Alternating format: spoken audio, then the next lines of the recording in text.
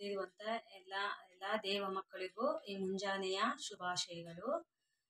ದೇವರು ನಿಮ್ಮನ್ನು ಎಲ್ಲರನ್ನೂ ಆಶೀರ್ವಾದ ಮಾಡಲಿ. ಈ ಒಂದು ಸಮಯದಲ್ಲಿ ನಾವು ದೇವರ ವಾಕ್ಯ ನೋಡೋದಾದ್ರೆ, ಮತ್ತಾಯ ಹದಿನಾಲ್ಕು ಮೂವತ್ತ ಮೂವತ್ತೊಂದು ವಾಕ್ಯವನ್ನು ನಾವು ನೋಡೋಣ. ಆದರೆ ಗಾಳಿಯನ್ನು ನೋಡಿ ಭಯಪಟ್ಟು ಮುಳುಗುತ್ತಾ, ಸ್ವಾಮಿ ನನ್ನನ್ನು ಕಾಪಾಡು ಎಂದು ಕೂಗಿಕೊಂಡನು. ಆ ಕ್ಷಣವೇ ಏಸು ಕೈಚಾಚಿ ಅವನನ್ನು ಹಿಡಿದು ಅಲ್ಪ ವಿಶ್ವಾಸಿಯೇ ಏಕೆ ಸಂದೇಹಪಟ್ಟೆ ಎಂದು ಕೇಳಿದನು.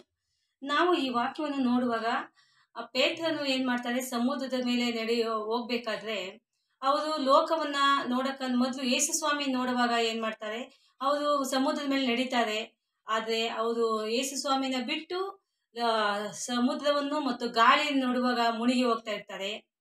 ಆಗ ಯೇಸು ಸ್ವಾಮಿನ ಕರೀತಾರೆ ಯೇಸು ಸ್ವಾಮಿ ಅವನ ಕೈ ಹಿಡಿದು, ಏಕೆ ಸಂದೇಹ ಪಡ್ತಾ ಇದೆಯಾ ಅಲ್ಪ ವಿಶ್ವಾಸಿ ಎಂದು ಅವರನ್ನ ಕೈ ಹಿಡಿದ ಮೇಲೆ ಕೊತ್ತುತ್ತಾರೆ ಅದೇ ರೀತಿಯಲ್ಲಿ ನಮ್ಮ ಜೀವನದಲ್ಲೂ ಸಹ ಅನೇಕ ಸಮಯದಲ್ಲಿ ನಾವು ದೇವರನ್ನು ತಿಳ್ಕೊಂಡಿದ್ರು ಅವರ ಒಂದು ವಾಗ್ದಾನ ವಾಕ್ಯ ನಮಗೆ ಗೊತ್ತಿದ್ರು ಅವ ನಾವು ಏನು ಮಾಡ್ತೀವಿ, ನಾವು ಯೇಸು ಸ್ವಾಮಿನ ನೋಡದೆ ನಾವು ಕಷ್ಟಗಳನ್ನ ಈ ಲೋಕವನ್ನು ನೋಡಿ ನಾವು ಭಯ ಪಡ್ತೀವಿ ಆಗ ನಾವು ಮುಳುಗಿ ಹೋಗ್ತೀವಿ ಎಲ್ಲ ಕುಂದಿ ಹೋಗ್ತಾ ಇರ್ತೀವಿ.